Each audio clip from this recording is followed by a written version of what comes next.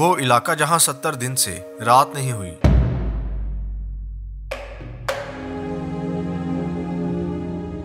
अस्सलाम वालेकुम। पाकिस्तान समेत दुनिया भर के कई ममालिक में जून, जुलाई के महीने आते हैं तो सूरज आँखें दिखाने लग जाता है और ऐसी क्यामत खेज गर्मी पड़ती है कि लोग बारिश की दुआएँ मांगने लग जाते हैं। सारा दिन आग बरसाने के बाद जब सूरज ढल जाता है तो रात अपने सितारों और चाँद को लेकर आसमान पर उतर आती है। लेकिन जून, जुलाई की कुछ रातें तो ऐसी भी होती हैं जो गर्मी के स्थायी इंसानों को तोहफे देने के लिए अपने साथ ठंडी हवाएँ और बारिशें भी लेकर आती हैं और उन्हीं बारिशों में भीग कर इंसान सुकून महसूस करता है।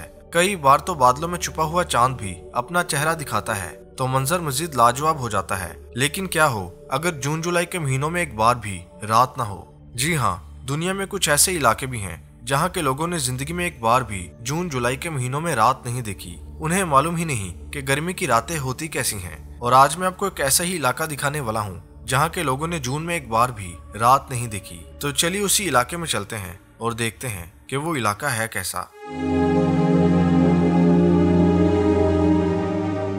पाकिस्तान से 8000 किलोमीटर दूर ये इलाका आता है।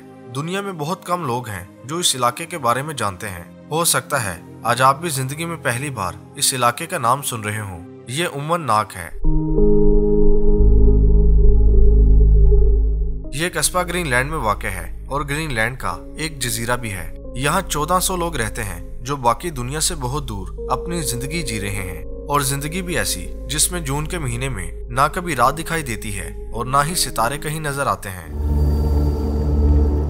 सत्तर दिन गुजर चुके हैं और जून का पूरा महीना भी गुजर चुका है, मगर यहाँ रात नहीं हुई।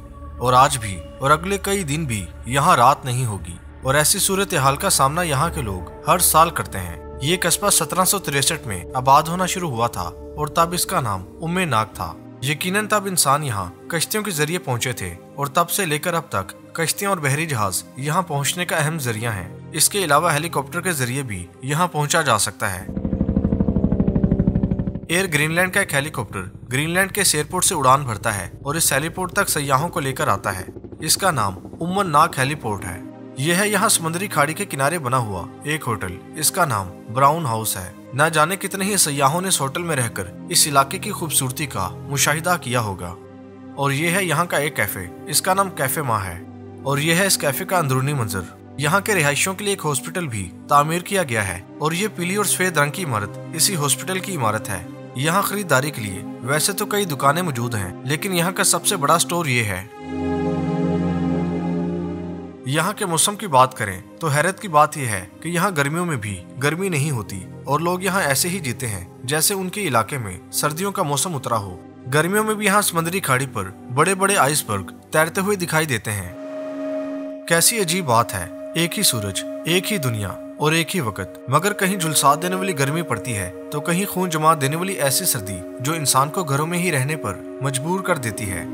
बेशक मुसविर तो सिर्फ़ एक ही है। अल्लाह, वो जो चाहे कर सकता है और इंसान है कि बिना किसी सहारे के अपने घर की छत भी खड़ी नहीं रख सकता।